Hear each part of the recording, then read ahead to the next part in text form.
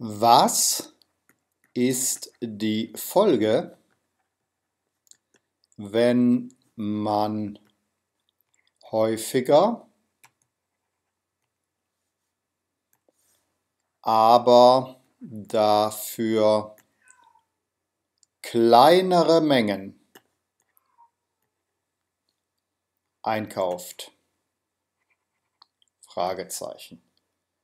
Nun, diese kleineren Mengen hier, die führen zu geringeren Kapitalkosten. Ja, warum? Die Kapitalbindung ist geringer. Dann geringere Lagerkosten.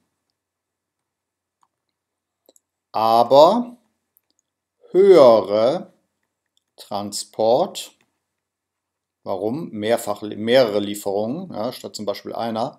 Und Bestellkosten.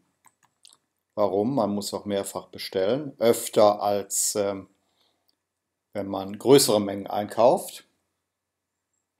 Und dann haben wir noch, wenn man so will, das sind ja alles Kosten, Kosten, Kosten hier. Ne? Sie sehen das, ne? überall Kosten.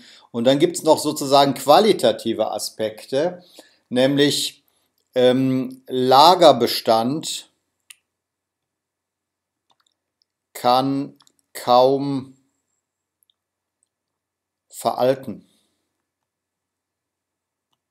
Ja, dass wir also einen veralteten Lagerbestand haben, da haben wir eine geringe, ähm, eine geringe Gefahr, kann man sagen. Und noch ein Kostenaspekt, nämlich keine großen Preisvorteile.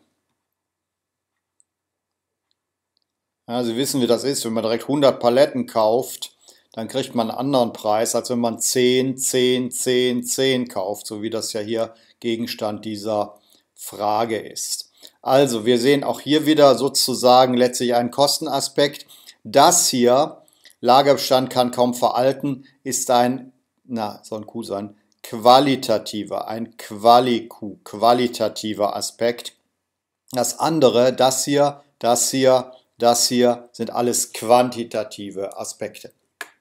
Wollen Sie lernen, ohne zu leiden, dann klicken Sie auf den Link unter diesem Video. Dieser Link führt Sie direkt zu meinem Schnelllernsystem.